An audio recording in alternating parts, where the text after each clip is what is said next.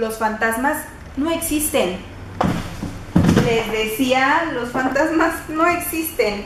Bueno, pues en realidad han sido invento de distintos escritores, solo para sacar, este, pues para sacar ventaja y beneficios económicos durante distintas historias. En realidad, los fantasmas son energías, no son fantasmas de espectros con sábanas blancas.